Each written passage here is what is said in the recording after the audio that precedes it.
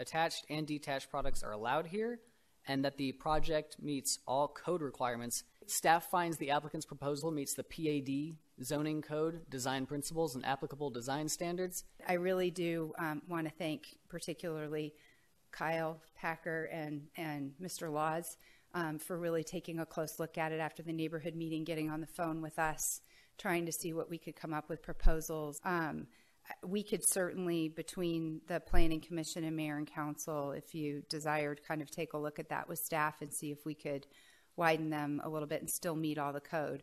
Our biggest concern is we need to make sure that we are code compliant um, as we as we move it forward. Um, but we've been able to do a few of those dances with staff. So We had staff uh, draft draft up a condition. The draft condition is uh, driveways for lots 14 through 17 are to be widened and/or the distance to the rear property line shall be reduced to the minimum setback to better accommodate a standard vehicle. I'd rather be a little more explicit, I think, about what we want.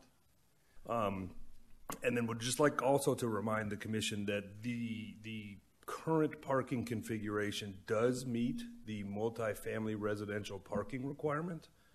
Um, so, you know, it's staff's preference with, again, the draft condition that we recommended that we not put quite as much of a, a concise cap on it, um, knowing that we've got those two or three different things we're trying to balance and can absolutely commit to work with the applicant to try and get as much um, parking space outside of the sidewalk corridor, if you will, as possible.